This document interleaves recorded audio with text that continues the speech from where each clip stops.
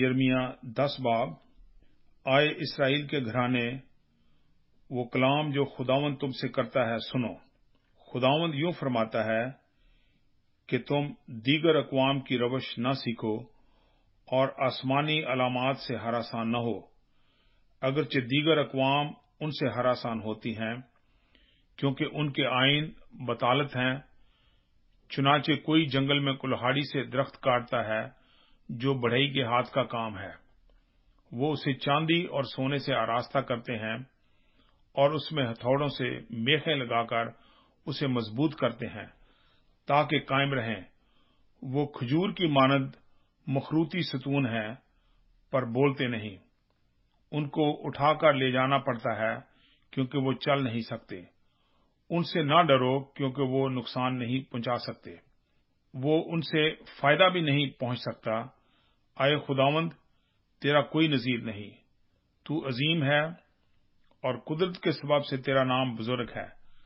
آئے قوموں کے بادشاہ، کون ہے جو تجھ سے نہ ڈرے؟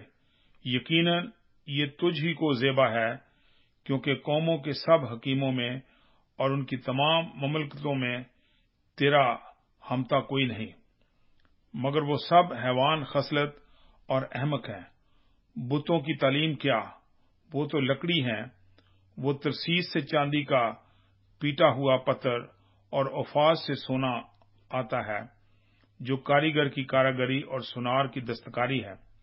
ان کا لباس نیلا اور ارگوانی ہے اور یہ سب کچھ ماہر استادوں کی دستکاری ہیں۔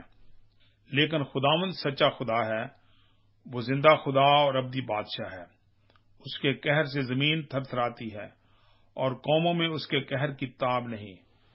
تم ان سے یوں کہنا کہ یہ معمود جنہوں نے آسمان اور زمین کو نہیں بنایا، زمین پر سے اور آسمان کے نیچے سے نیست ہو جائیں گے۔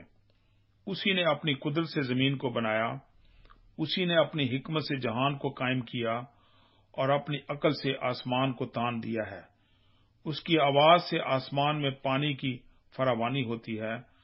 اور وہ زمین کی انتہا سے بخارات اٹھاتا ہے۔ وہ بارش کے لیے بجلی چمکاتا ہے اور اپنے خزانوں سے ہوا چلاتا ہے۔ ہر آدمی حیوان خصلت اور بے علم ہو گیا ہے۔ ہر ایک سنار اپنی کھودی ہوئی مورت سے رسوا ہے، کیونکہ اس کی ڈھالی ہوئی مورت باطل ہے۔ ان میں دم نہیں، وہ باطل فیلے فریب ہیں۔ سزا کے وقت برباد ہو جائیں گی۔ یعقوب کا بخرا ان کی مانند نہیں، کیونکہ وہ سب چیزوں کا خالق ہے اور اسرائیل اس کی میراث کا اثا ہے۔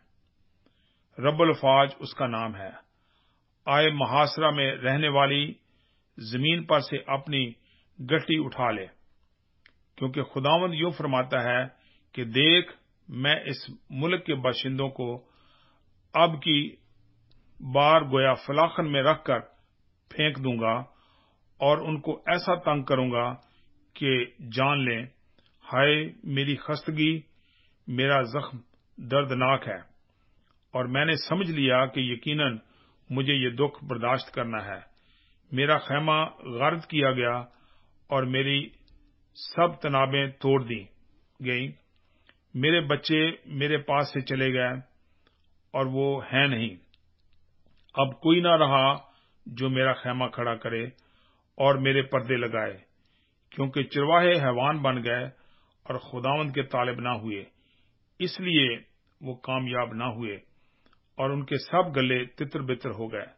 دیکھ، شمال کے ملک سے بڑے غوغا اور ہنگامہ کی آواز آتی ہے، تاکہ یہودا کے شہروں کو اجاڑ کر کیدڑوں کا مسکن بنائے۔